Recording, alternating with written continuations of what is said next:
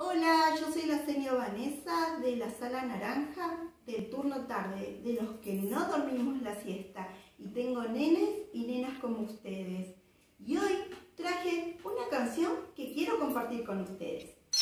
Ah, no se mirarán, se querrían mucho más, entonces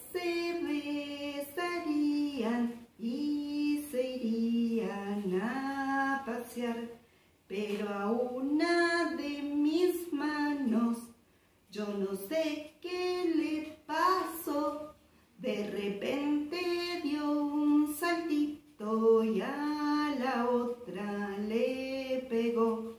Se pegaron un buen rato hasta que una se cayó y la otra a su amiga la abrazó.